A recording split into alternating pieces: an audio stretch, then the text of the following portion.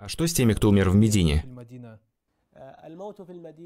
Касательно смерти в Медине от пророка, саллиллаху алейхи вассалям, в сборниках хадисов Сунан от Ибн Умара сообщается с достоверной цепочкой, что пророк, саллиллаху алейхи вассалям, сказал, «Тот, кто может умереть в Медине, пусть умирает там. Поистине я буду заступником за его семью». Этот хадис с достоверной цепочкой и указание на то, что тот, кто может умереть в Медине, пусть умирает там, Поистине пророк, саллиллаху алейхи вассалям, ходатайствует за жителей Медины. Но для этого есть условия. Умерший должен быть мусульманином, из тех, для кого принимается заступничество. А если он был язычником или кем-то другим, не мусульманином и умер в Медине, то смерть в Медине не принесет ему никакой пользы.